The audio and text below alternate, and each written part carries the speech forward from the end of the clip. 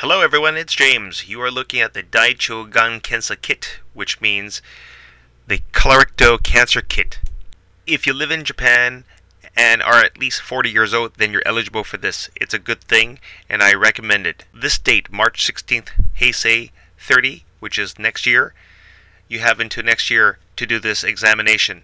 The examination kit only costs 500 yen, so it's worth it. Now I'm going to open it. This kit comes with a family history form and two little vials containing liquid.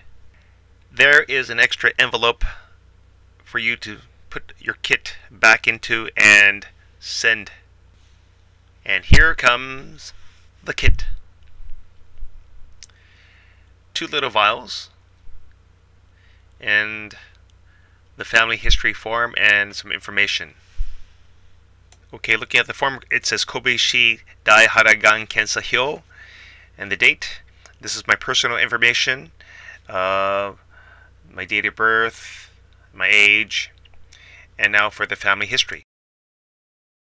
Looking at question number one, they're asking me, have I experienced any strange bowel movement? Have I noticed anything different? No. Yeah. Question number two, they're asking, have I noticed any blood in my stool? No. Yet. Question number three, they're asking, have I ever had any kind of sickness? Serious sickness. They give a list of sicknesses, and I could say no. Yeah. Question number four, they're asking me, have I ever had this colorectal exam before? And my answer is yes. So I'll circle aru and then I'll write the date.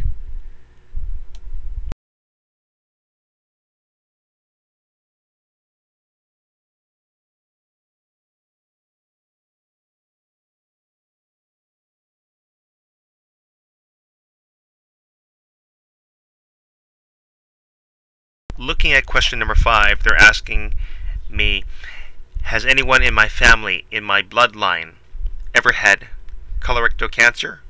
And I'll say, no one. Inai.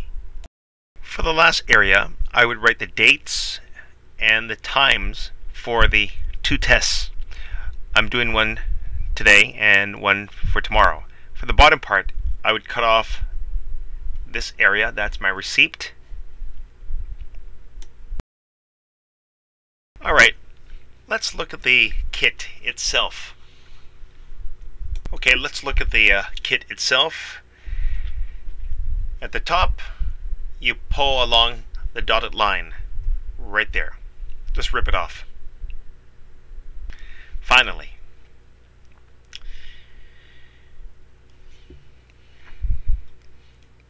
one, two,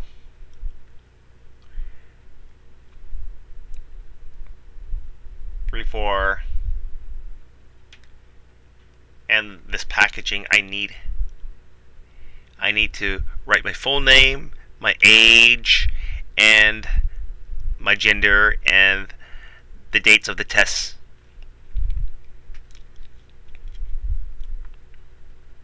I have two vials, one with a blue label and one with a red label. For day one, I'll be using the blue label and for day two I'll be using the red label. I will have to write my full name, then my gender, then my age, and the date of the test and the time of the test. So do this before you do the actual test. This is the instruction guide on how to properly do the test. Viewer discretion is advised. It is disgusting. Okay, as I mentioned before, you have to fill out your personal information first and the date and the time of the test. To remove the cap, you turn counterclockwise. Then you pull up comes the disgusting part. You're going to swab it with this little stick And that's how much you need to get on the stick properly. So you're going to swipe it like that. When you have enough of your sample, you stick it into this vial like this. And then turn the cap. Do the test consecutively.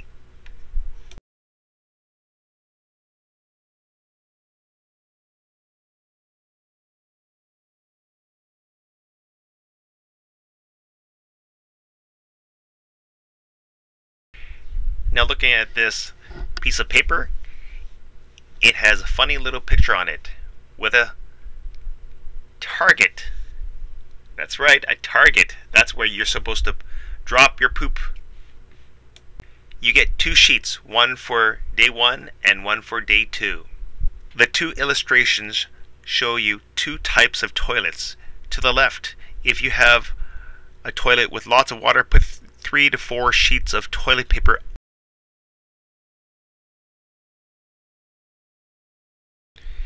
if your toilet doesn't have so much water in it, then no extra toilet paper is required. Just put the sh target sheet in the water like so. So you see this green star? That's where you're supposed to poop. Right there. Not on the guy, but if you want to. But just poop in that zone. And then take that stick and swipe, swipe, swipe, get your sample, and then jam it back into that vial. We are now in my Japanese bathroom and I'll show you how much toilet paper you need. So you're going to put that toilet paper in the water.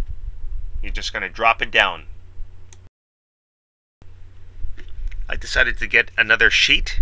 Now I'm ready to drop the toilet paper into the water. Here it goes. There's the target on the toilet paper. Here is my disgusting sample. It'll take some time to reach the bottom, but there's some chemical reaction happening. Once you've finished both tests, you're going to use this envelope and you're going to put everything in it, including the family history information, and you'll have to get a stamp for this and then mail it. And that's it for this video. Thanks for watching. Bye.